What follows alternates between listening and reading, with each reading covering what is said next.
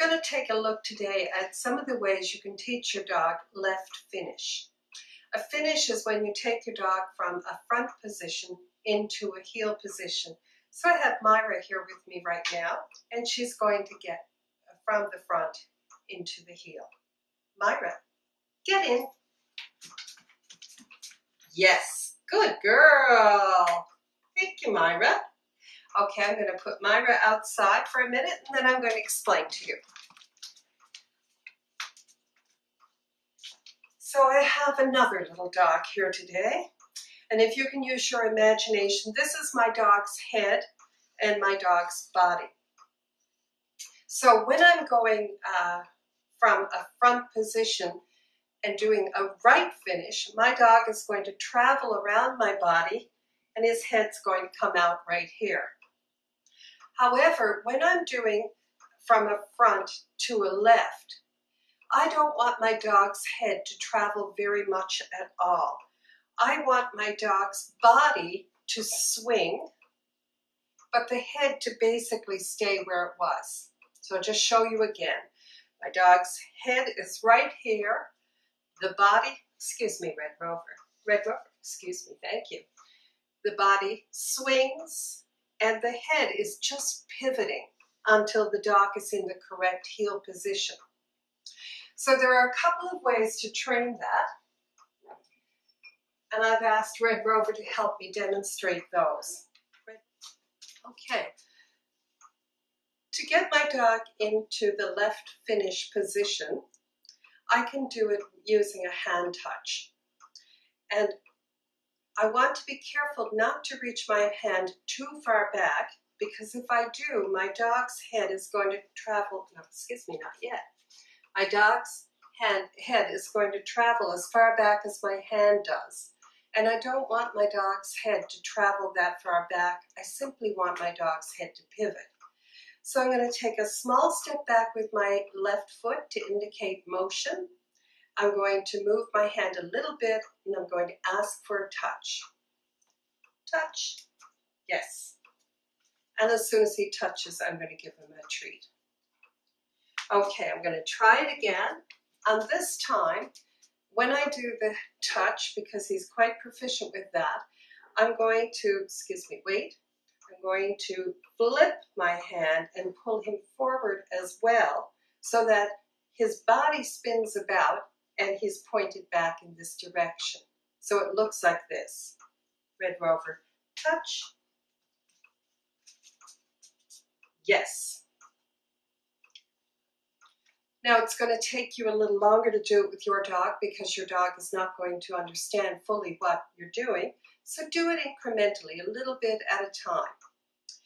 Now there's another way that we can teach this. Again, trying to make sure that we uh, don't get too much head motion. So we're going to ask our dog to come in front. Front. Yes. So our dog is sitting directly in front of us and I'm going to shuffle forward. I'm not going to step on his toes or anything, but as I shuffle forward, my dog is wise enough to know that he's going to have to get out of my way. And so the minute he moves, I'm going to mark and reward that. Yes. Good. So front. Now this time when he moves, I'm going to use my hand to shape his movement a little bit. And to do that, I'm going to use my thumb and my pointer finger I'm going to block the treat with these other three fingers and I'm going to maneuver my hand so that my dog has to turn in order to be able to access the treat. And then when he's in the correct position, I'm going to say yes.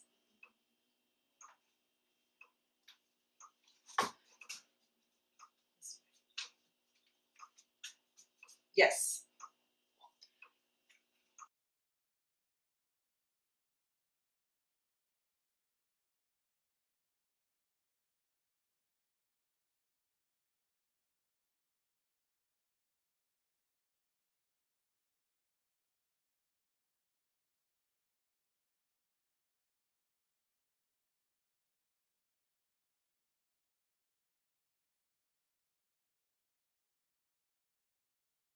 Now you'll notice I didn't put the treat in my fingers that time.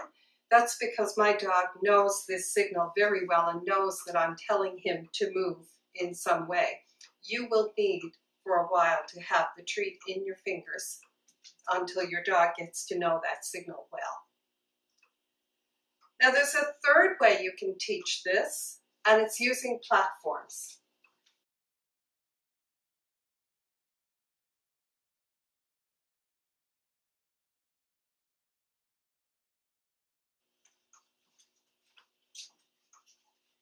If your dog is already used to using platforms, your dog will quickly recognize and understand what's happening.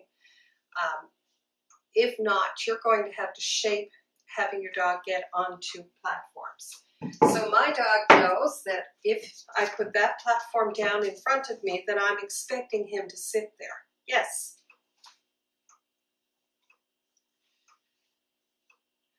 And I'm using this platform that I've used before to practice pivoting by my side. And I'm going to put it on here.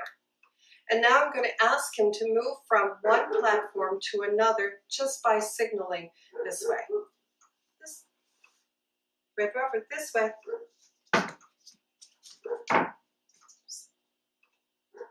And we're not sure what to do because we've never done this exercise before.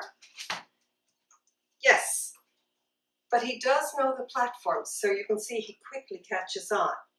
Red Rover, get it.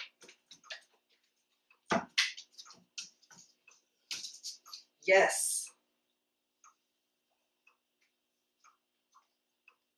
This way.